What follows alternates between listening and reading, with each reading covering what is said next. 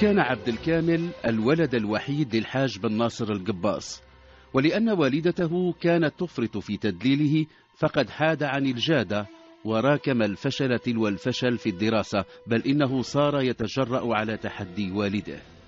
تزوج الحاج بن ناصر امرأة ثانية رزق منها ثلاث بنات بينما واصل عبد الكامل مشواره مع الانحراف وفشل في تدبير أكثر من مشروع عهد به إليه.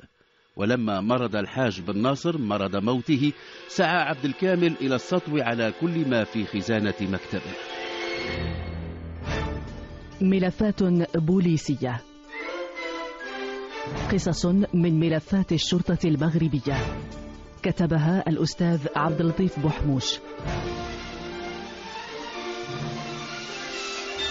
صاغها للإذاعة ويقدمها عبد الصادق بن عيسى.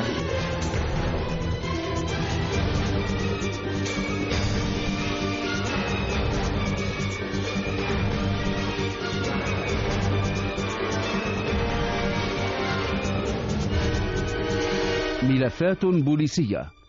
القصص التي نقدم لكم هي من صلب الواقع. تعمدنا تغيير أسماء الأشخاص وأحيانا الأماكن وإذا ما وقع تشابه أو تطابق في الأسماء أو الوقائع فإنه من باب الصدفة ليس إلا. ملفات بوليسية.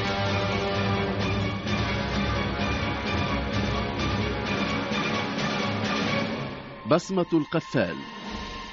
كان الحاج بن ناصر القباس من كبار أغنياء مدينة مكناس. كان مالكا لعدة عمارات ومحلات لبيع الآلات الفلاحية. لم يرزق من زوجته للغنية البوحيدية سوى بولد وحيد سماه عبد الكامل. ولم تفلح المساعي التي قامت بها المرأة لدى المتخصصين من الأطباء ولم ترزق مولودا آخر. ولم يخرج عن القاعدة. كان الولد الوحيد وبالتالي كان مدللا. ولما غابت الصرامة في حدودها المعقولة عن تربيته فقد فشل في الدراسة ولم يوفق في الحصول على شهادة الدروس الثانوية. كان مراهقا في السابعة عشرة لما انقطع عن الدراسة. وكانت أمه كثيرا ما تردد أن ولدها وحيدها ليس بحاجة إلى دبلومات إذ لن يلبث أن ينخرط في الأعمال التي يديرها والده وبنجاح. كذلك كان رأي للغنية البوحيدية. وكان لا يتوافق البتة مع رأي الحاج بن ناصر والد عبد الكامل الذي رأى في إخفاق ابنه في الدراسة خيبة أمل ونذير شؤم على ما هو آت. كان يضع قراءته للمسار الذي يمضي فيه ولده الوحيد في سياق قراءته للمستقبل. كان الحاج بن ناصر يحلم أن يكون له ولد يتفوق في الدراسة بما يؤهله لتحمل المسؤولية وليكون خير خلف. كانت خيبة أمله كبيرة واختار أن يمنح حياته ما يراه منطلقا جديدا مصغيا إلى نصيحة صديق عزيز. تزوج من ثانية كانت بنت أسرة فقيرة من حي برج مولاي عمر. أعد لها مسكنا فخما في حي لاسيندا وهي فيلا تتوافر على كل المرافق ووسائل الراحة. كان الحاج ناصر قد تخطى عتبة الخمسين لما تزوج تلك الشابة التي تصغره بما لا يقل عن عقدين. أدار ظهره لزوجته الأولى للغنية البوحدية فيما يشبه معاقبتها على تأييدها لولده مع عبد الكامل الذي كان كثيرا ما يتجرأ على تحدي والده. وكان الحاج بن ناصر يرى أن الولد يحظى بتواطؤ من أمه. في العام الأول من زواجه الثاني رزق الحاج بن ناصر ببنتين توأمين. وتناهى الخبر إلى علم للغنية وبالرغم من أنه ظل ينفق على زوجته الأولى وابنهما دون أن ينقص شيئا فإن الولد عبد الكامل صار يكثر من زيارة مكتب والده يحرجه ويطلب في كل مرة المزيد من المال. كان الحاج بن ناصر يعطيه ما يريد تفاديا لمزيد من الإحراج واجتنابا لكل صدام سيكون هو المتضرر الأول منه. طبيعي أن يأتي الحاج بن ناصر على ذكر ما يكابده من جراء سلوك ولده أثناء حديثه إلى واحد من أخلص أصدقائه. كان الصديق قاضيا ذا تجربة وعلم وخبرة في الحياة. وقد أشار على الحاج بن ناصر أن يجعله على واحد من مشاريعه. فإن هو نجح وأفلح فسيكون الوالد قد قام بالواجب.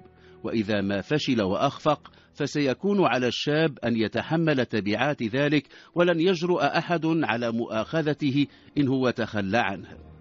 بعد أيام استدعى الحاج بن ناصر ولده عبد الكامل إلى مكتبه وعرض عليه أن يتولى شؤون ضيعة يملكها في قرية الحاج قدور. كانت المهمة تتطلب حضورا يوميا ومتابعة ميدانية لكل ما يقوم به العمال. وضع الحاج بن ناصر رهن إشارة ولده كل المبالغ التي سيحتاج إليها لشراء الأسمدة والمبيدات الحشرية وكان للأب شرط واحد أن تحقق الضيعة دخلا لا يقل عن معدلها الاعتيادي ووعد ولده بأنه يمنحه مكافأة سخية إن هو نجح في تحقيق دخل يزيد عن المألوف. تم الاتفاق. وكان مناسبة لما عده الحاج بن ناصر مصالحة مع زوجته الأولى للغنية البوحدية صار يمضي ليلة عندها وأخرى عند ضرتها. كان رهان للغنية كل رهانها على ولدها عبد الكامل وكانت ضرتها تسعى إلى مباهاتها بالولد. عدا البنتين التوأمين رزقت ببنت ثالثة. كانت أم البنات اللواتي شغف بهن والدهن. كن جادات في التحصيل بما جعله يحس بأنهن تعوضنه عن بعض من خيبة الأمل التي عانى منها من جراء انحراف عبد الكامل. انتهى الموسم الفلاحي بإخفاق جديد لعبد الكامل ومع ذلك فإن الحاج بن ناصر قرر أن يمنحه فرصة ثانية انتهت بفشل جديد. وكما راكم الفشل في الدراسة راكم عبد الكامل الفشل في المشاريع التي أوكلها إليه والده. ولم يعد من خيار أمام الحاج بن ناصر سوى أن يبعد ولده وقد صار مدمنا على المخدرات عن كل مشاريعه وأبقى له مع ذلك على أجر شهري محترم.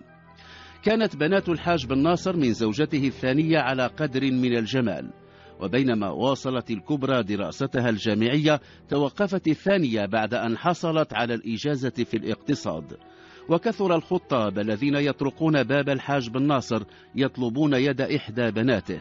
وقد رأى في أحدهم ويدعى عبد الله التاقي المواصفات التي يرجوها في صهره فزوجه تلك التي قررت التوقف عن الدراسة.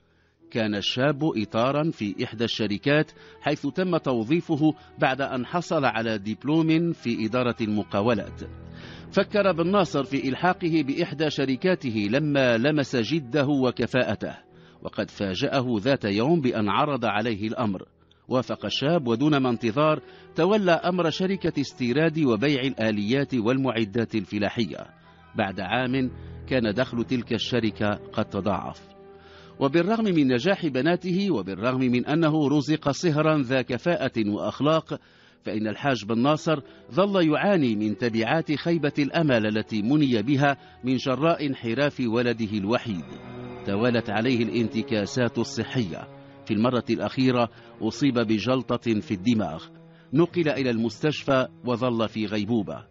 وبينما لزمت زوجته الثانية وبناته المستشفى لمتابعة حالته كان عبد الكامل يتلصص الأخبار عن طريق ممرضة منحها بعض المال وقد علم منها أن الرجل حتى وإن خرج من غيبوبته فسوف لن يسلم من عاهة دائمة. ثم بعد أيام علم منها أن والده قد توفي سريريا. لحظتها قرر أن يسطو على مكتبه وأن يستولي على ما في الخزانة. تظاهر بأنه جاء إلى المستشفى يتفقد أحوال الوالد تظاهر بالحزن. ثم في لحظة ما تسلل خارجا. كان قد خطط مع اثنين من رفاقه للسطو على خزانة مكتب والده. كان المشكل الأكبر يتمثل في فتح تلك الخزانة التي لا يملك أرقامها السرية. كان في مكناس رجل قفال اسمه عبد الرزاق اشتهر بمهارته وقدرته على فتح الخزانات الأكثر تعقيدا وكانت الشرطة تلجأ من حين إلى آخر إلى خدماته. فكر عبد الكامل ورفاقه في الاستعانة بالقفال عبد الرزاق وخططوا لخطفه وقد تسنى لهم ذلك. أجبره اثنان مقنعان على الركوب في سيارة وضع على عينيه عصابة ثم اقتادوه إلى وجهة لم يكن له أن يدركها. لما وصلوا المكتب أزاحوا العصابة عن عينيه. قالوا له إنهم يريدون فتح الخزانة الحديدية. كانوا ثلاثة يضعون أقنعة على وجوههم. هددوه بسكاكينهم ووعدوه بمكافأة إن هو نفذ وأطاع الأوامر. أيقن القفال أنه في ورطة حقيقية. ولم يسقط من حسابه أن تقوم العصابة بتصفيته ولذلك فكر في أن يترك أثرا يدل على الأماكن التي مر منها. تعمد أن يترك على صفحة جانبي الخزانة بصماته واضحة بل إنه طلب من مختطفيه أن يساعدوه في إخراجها من مكانها. وكان قد رأى أنهم لا يضعون في أيديهم قفازات وهكذا تسنى له أن يجعلهم يتركون بصماتهم على الخزانة. لم يكن لما خطف يحمل معه المعدات الضرورية ولذلك اضطروا إلى نقله مغمض العينين إلى دكانه. أحضر المعدات وعادوا به إلى مكتب الحاج بن ناصر. بسهولة فتح الخزانة. استولى عبد الكامل على ما كان بداخلها من ملفات ومبالغ مالية. كانت هناك بضع رزم من الأوراق النقدية. أخذ عبد الكامل إحداها قسمها إلى ثلاثة أعطى صاحبيه منها وكذلك القفال. بعد أن انتهت العملية انصرف الجميع.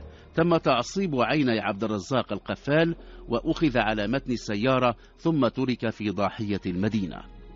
في الصباح لما التحق الموظفون بإدارة الشركة فوجئوا بآثار السرقة. تم إبلاغ المدير وهو صهر الحاج بن ناصر الذي اتصل فورا بالشرطة.